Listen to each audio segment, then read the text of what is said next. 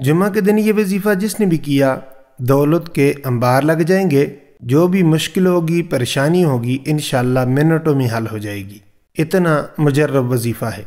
बिसमीम जुम्मा के दिन चलते फिरते ये अमल करें और तमाम हाजात इन उसी दिन पूरी होंगी। गैब से दौलत मिलेगी। एक दिन का ये बेहतरीन वजीफ़ा है। आज के इस वजीफ़े में आपको ये सब कुछ बताया जाएगा।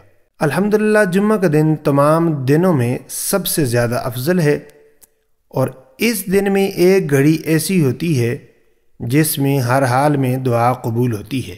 तो इसलिए हमें चाहिए कि हम अमल करते रहें और हमें वो घड़ी भी नसीब हो जाए। क्योंकि हमें तो मालूम नहीं कि वो घड़ी कौन सी है।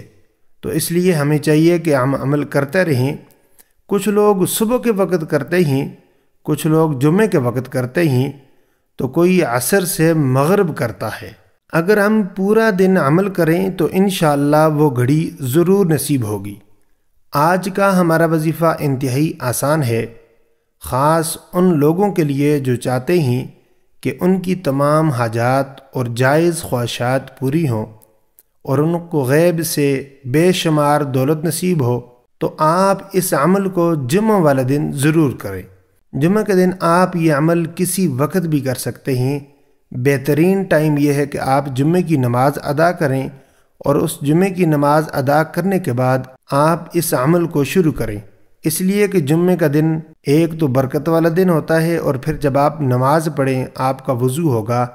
तो और अल्लाह ताला अज्जा वजल इस बबरकत वजीफ़े की वजह से आपकी तमाम परेशानियाँ, मुश्किलें हल फरमाएँगे। साथ साथ इस वजीफ़े को अपने मुसलमान बहन भाइयों तक लाजमी आपने शेयर करना है।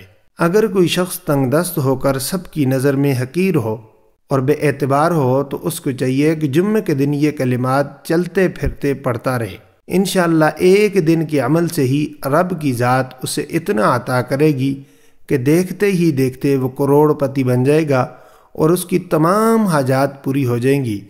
जब आप जुम्मे की नमाज़ अदा कर लें तो जुम्मे की नमाज़ अदा करने के बाद अपनी जगह पर बैठे रहें और आपने एक तस्वीर पढ़नी है। बहुत ही आसान तस्वीर है।